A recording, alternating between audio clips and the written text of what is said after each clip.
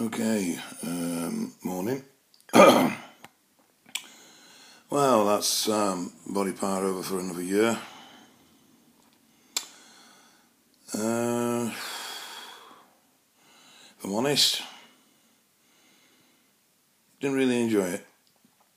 Uh, good to catch up with some old friends, uh, but it's the first time I've ever been as a customer, and I found myself sort of wandering aimlessly like um, a sheep, um, not really having much direction. Uh, the seminars, for the large part, don't interest me. Um, I don't really want to sit there and know what Guy Green's favourite protein is, and at the end of the day, the questions I want to ask he's not going to answer. Uh, a couple of strange things. Um, met Rich Piana.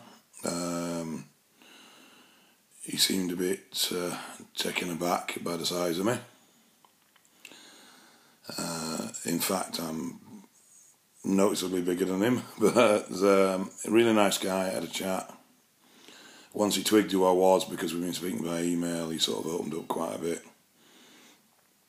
Uh, and I know James spoke to him later in an interview uh, James Grealish is doing the, the, the, DVD, and Rich has agreed or has shown an interest. So we're sending him um, a copy of the trailer that's out this Friday over, uh, and hopefully he'll push it over in the States for us, which if he does, oh, well, that really is going to mean big things for that. Uh, bumped into a few others, bumped into a few people off the page, a few people that follow me on here, and it was nice to meet them and chat. Uh, a couple of surreal, well, surreal for me anyway. Um, a couple of top amateurs that three years ago I was looking up to came running over to me wanting photographs with me, which was a bit strange.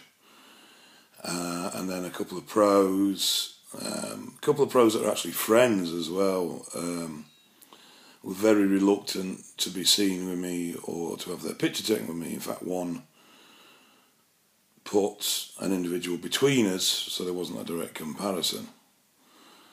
So that was quite strange. Um, and you got to admit, it gives you a bit of a buzz. Of course, it does. Uh, in general, uh, I found the show a bit tedious. Um, it may have been me wandering around because I seemed to miss a lot of people, but there did seem to be a distinct lack of bodybuilders and a hell of a lot of fitness people. But then maybe it's just me. Um, I mean, there were people there that I never saw that I assumed weren't there and then found out afterwards that they were, so uh, I could just have been missing people. Enjoyed watching Andy Bolton lift. Pulled a 390 on the dead like it was nothing, and unfortunately pulled a hamstring on a 435. Jesus, that man's got some power. In fact, you know, I was more in awe of him than I was of all the pro bodybuilders. Um, and I think to a degree that's because now to me the size of the pros isn't that unachievable. Now, don't get me wrong, the quality, the balance, and the condition they carry is a different matter. But just the sheer bulk isn't that far beyond me. Uh, in some cases, I'm already beyond them. But being able to pull that sort of weight is way, way beyond me, which is why I think I've, I've probably got so much respect for him. Uh, it was good to catch up with a few nutters like P.T. Welsh. God, that man, does he ever stop? Um, anyway, came away from it. Oh, by the way, got engaged. Uh, for those that don't know, got engaged on a Friday morning. She said yes, the silly woman. so Saturday night, we went to a hotel in Derbyshire called the Priest House. Very nice hotel. Had a lovely meal, bottle of champagne, celebrated. And then we spent Sunday just dotting about sites in Derbyshire and just generally enjoying ourselves and being a normal couple which was enjoyable. Uh, back on diet yesterday, uh, head down, good training session yesterday. nice and focused. Chest and tries are quite sore this morning. And it's now um, back to business. Uh, PCT starts in a week on Thursday. Uh, I will be running 1000 IU as HCG every other day for 20 days. Uh, 40 mg of Clomid for 50 days and 100 mg of, sorry, 100 mg of Clomid for 40 days. Well, for 20 days and then 50 mg of Clomid for 20 days, 40 in total. And a 40 mg of Nolva for 40 days and then 20 mg of Nolva for 10 days. So that'll be my PCT. It's basically a watered down version of Dr. Scally's Power PCT. The HCG has been reduced because I've run a baseline of 500 IU twice a week throughout my cycle. Then I will run Ostarine, uh, and I'll run that up until me restarting my cycle in September. Uh, the next cycle will be one 2.5 G of test and 1.5 G of Deca, and then 1 mil of NPP laid over top ED every day. And probably some oxys thrown in for good measure.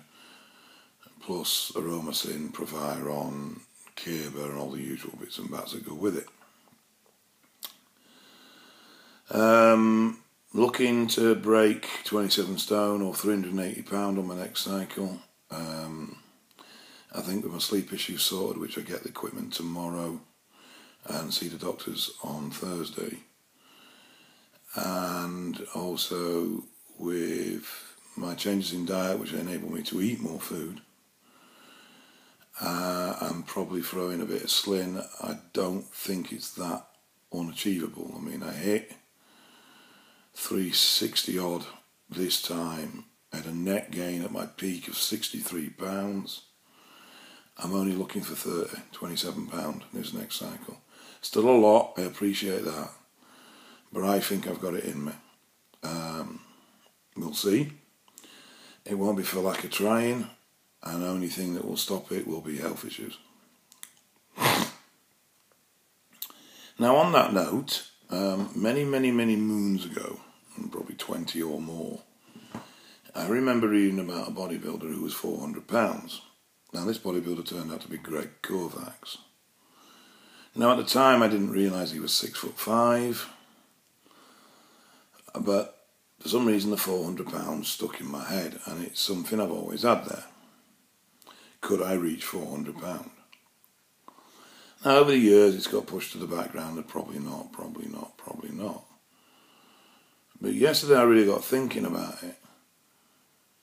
Now, this size, obviously, an extra 47 pound of muscle is a huge amount of muscle.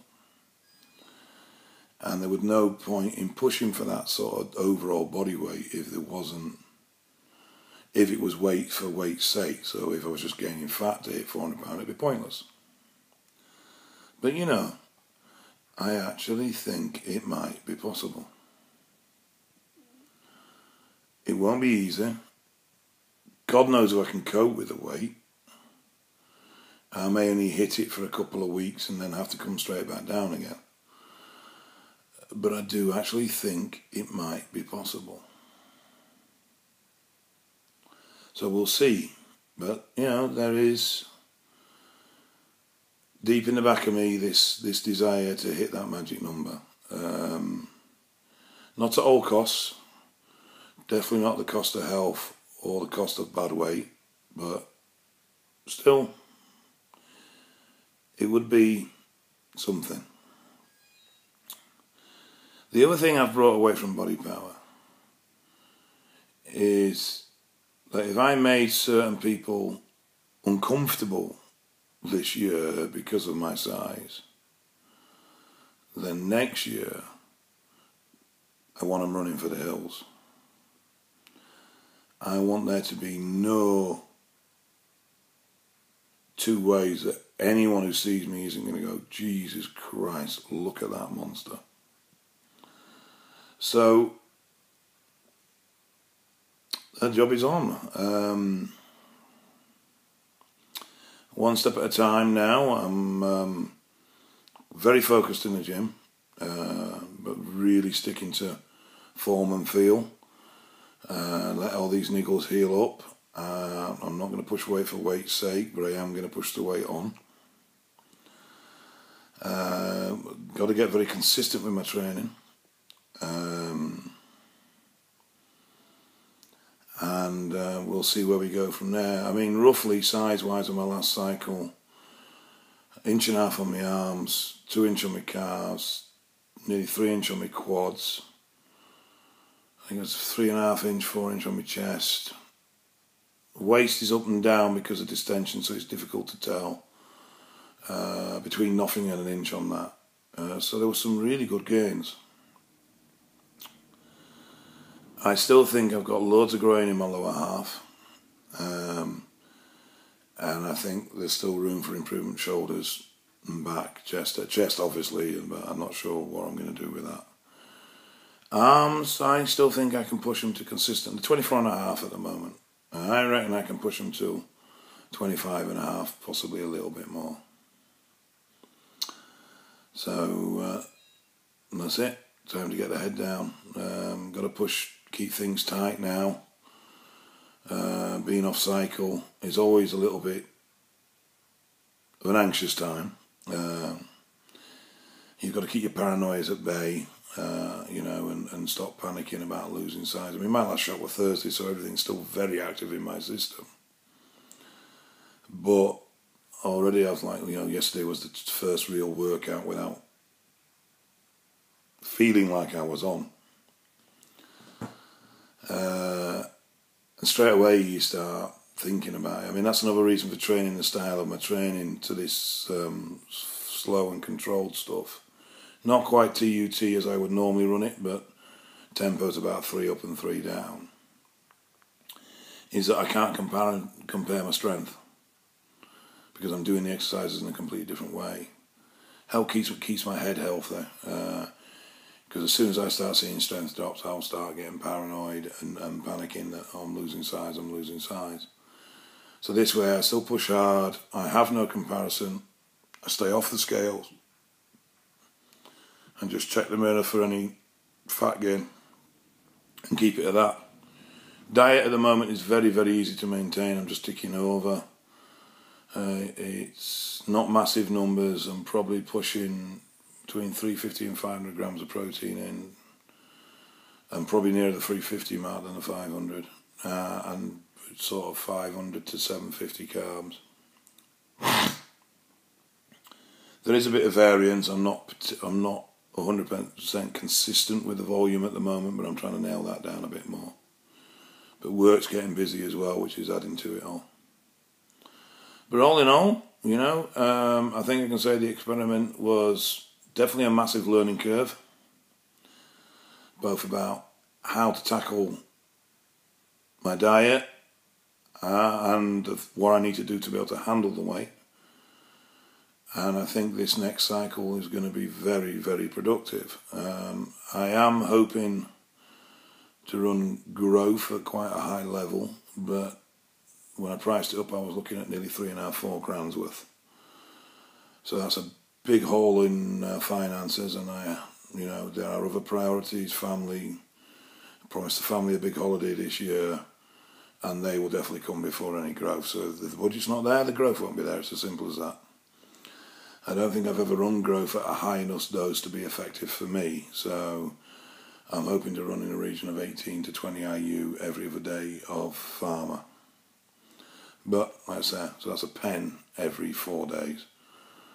But we'll see because uh, at the end of the day, it comes down to cost, uh, and if the money's not there, then it ain't going to be happening. Otherwise, apart from still holding shitloads of water, um, all good. I feel pretty good. Feel very positive. In a good place all round, really. Um, obviously, sleep is still an issue, but I'm pleased that we're moving forward with that back at the doctor's in about 10 days for urine and blood tests over my kidney function, but I'm not really worried at the moment unless something new crops up. And we'll go from there. I'll try and get a full set of bloods done before I start next cycle for baseline. And we'll see uh, how things go. But I hope you've enjoyed the journey. I hope you stay with me through this PCT period, which is going to be a bit boring, I know. But I will be honest about head fucks and, and um, losing the plot a little bit and thinking I'm shrinking and all the rest of it. Um, and then um, come September, World War Three. and just remember, trailers released on Friday for the DVD, and hopefully end of June, beginning of July, the DVD will be released. Right, all right, guys. I'll catch up with you soon.